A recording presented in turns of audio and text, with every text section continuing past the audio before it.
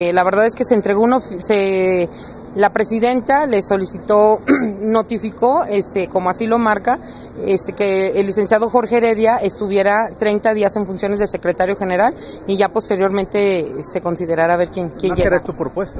Bueno, yo conozco de hace muchos años a Miguel Ángel Nájera, es un abogado muy reconocido que conoce perfectamente el Congreso y si fuera él, pues sería una buena opción. Aquí, de la Jucopo, ¿quién, ¿a quién van a traer para la glosa del informe? Bueno, todavía no estamos viendo eso, hay que esperar primero a recibirlo. Entiendo que la gobernadora en los próximos días este, nos va a pedir ficha, cita perdón, para poder entregar el, el presupuesto y, y ya después de eso veremos a quién citamos.